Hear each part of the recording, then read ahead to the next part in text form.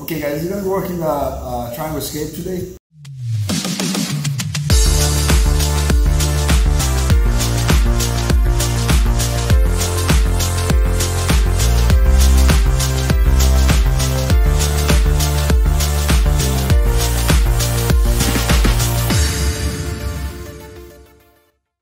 Uh, one, my opponents lock, locks the triangle on me. It's really important.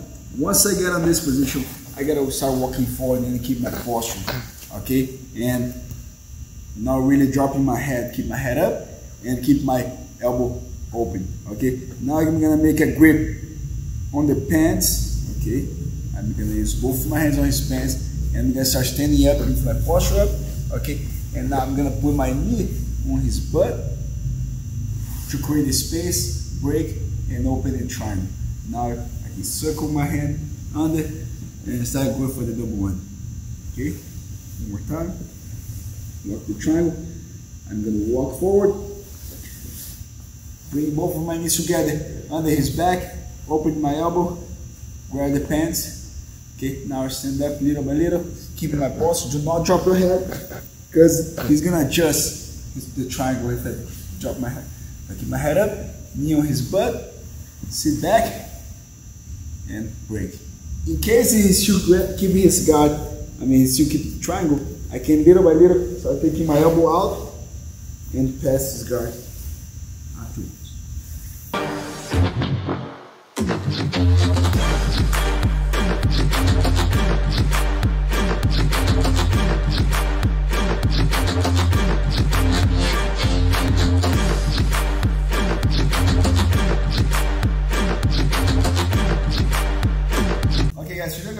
gonna a, a cross collar uh, escape from close guard. Okay, is gonna get me in close guard. Okay, he's gonna make the first whip. Of course, as soon as I start making this whip, I know what's coming. So I will try to break this grip if it's possible. Okay, if not, okay, as soon as I make, I try to keep my posture, he is able to get his second grip over my shoulder, over my arm, and over my shoulder. Yes. Now I'm gonna close his elbow, like squeeze his elbows as I hug both his arms. And start posture. You know, walk forward, walk forward, and keep my posture. In case if I cannot break his grip, just gotta make sure I keep this posture. Okay, and I'm safe. Okay, sooner or later it's gonna get out or it's gonna get tired. If not, I'm just gonna stay here until that happens. Okay.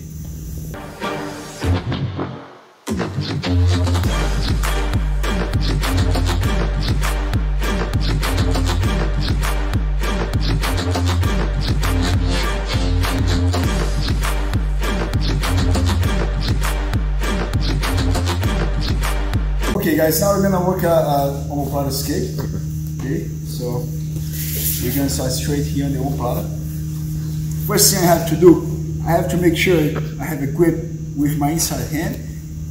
And now I'm gonna start bringing my knee on his bed and keep my posture. Okay, that way he won't be able to apply pressure on my shoulder and break my posture. Here I can keep a good base, good posture. Bring my foot close to his hips. Okay, now I'm gonna start pulling his pants. Okay, and stack. I walk back a little bit, stack, stack, and now I, I start feeling a little loose on my arm. When I feel that, I'm gonna stand up, pull a little bit more, extend my arm. I turn my thumb down, thumb up, and pull my arm back. Yeah. So if I stay like this, look, it's gonna break my posture and come on top, right? So I make a grip inside of my thigh and bring my knee up on his back. Now back up, back up.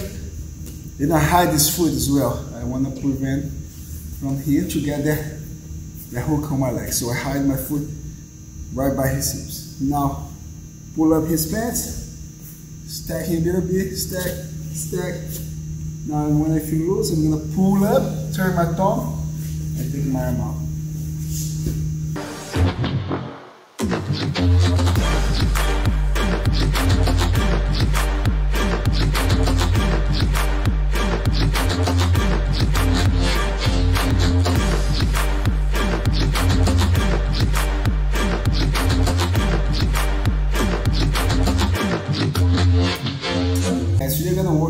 Work in escape from close guard.